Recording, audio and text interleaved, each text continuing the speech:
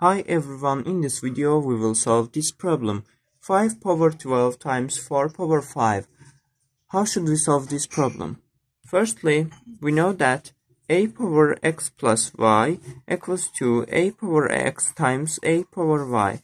For this formula, 5 power 12 equals to 5 power 5 plus 7 and it's equal to 5 power 5 times 5 power 7 and let's put it here. 5 power 5 times 5 power 7 times 4 power 5 and we also know that a power x times b power x equals to a times b brackets power x.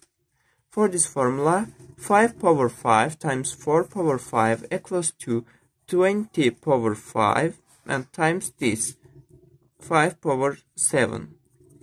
And we know that 5 power 7 equals to 5 power 5 times 5 power 2. And let's put it here. 20 power 5 times 5 power 5 times 5 power 2. And this is equal to 20 power 5 times 5 power 5 equals to 100 power 5 y for this formula and times this 5 power 2 and this is equal to 25 times 100 power 5 and we know that 100 equals to 10 squared. And let's put it here. This is equals to 25 times 10 power 2 brackets power 5 and it does 25 times 10 power 10.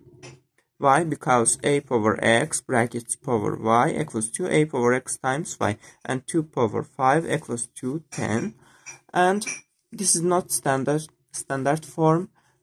Uh, that's why we may change it.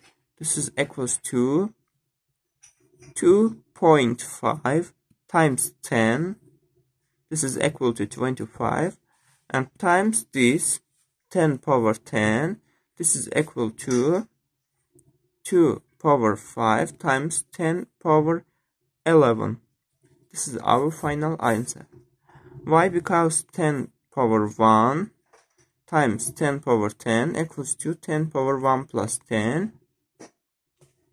and uh, this is equal to 2.5 times 10 power 11 this is our final answer. Thanks for watching.